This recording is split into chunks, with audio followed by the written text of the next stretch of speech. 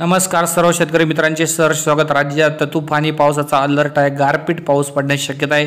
कोणकोणत्या भागात हा गारपीट पाऊस आहे? डिटेलमध्ये बघूया सर्वप्रथम सर्वांना जे या ठिकाणी जर बघितलं तर सांगू इच्छितो की चंद्रपूरमध्ये गडचिरोलीमध्ये आणि गोंदियामध्ये जे आपल्याला पावसाचा अलर्ट पाहायला मिळणार आहे काही ठिकाणी गारपिटी सदृश्य पाऊस पाहायला मिळणार आहे.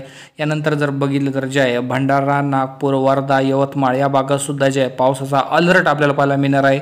काही भागात हलका ते मध्यम तर काही भागात जोरदार स्वरूपाचा पाऊस एकंदरीत जर स्थिती बघितली तर पुढचे काही दिवस जे आपल्याला पावसाचा अलर्ट या ठिकाणी पाहायला मिळणार आहे. याची नोंद घ्यावी मराठवाडा आणि विदर्भ